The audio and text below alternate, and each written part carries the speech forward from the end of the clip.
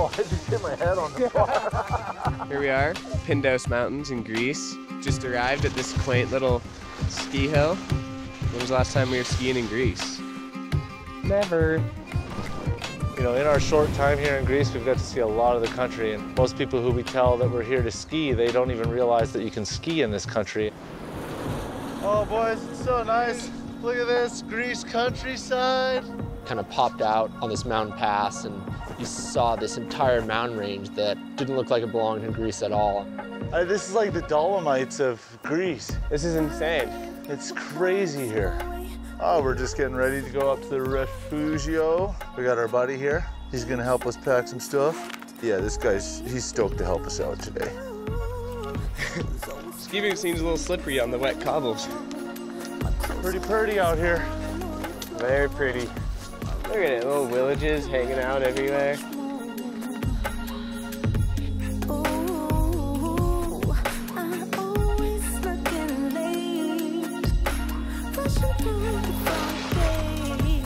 Holy sh!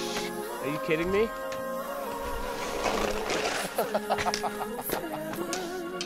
Yeah, boys. This place is very famous in Greece, first of all because of the alpine character. So I guess the uh, Astraka Mountains were formed right at the same time as the Dolomites, and they have a really, really similar, you know, look to them. They're just huge, massive cliffs.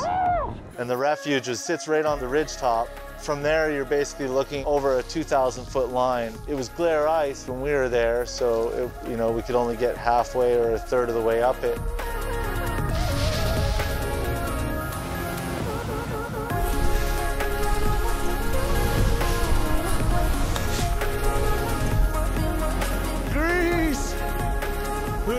Greece could be so blustery?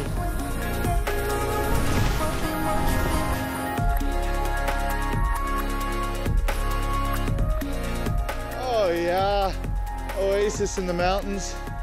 That, boys, is a vista. It's not only the terrain that makes the skiing special, it's also very nice moments with very good friends. This trip was always for me about experiencing a new culture and seeing a country that I never thought skiing would ever take me to. People here are amazing. The skiing's been really, really fun, and I'll definitely come back to Greece because I love this place.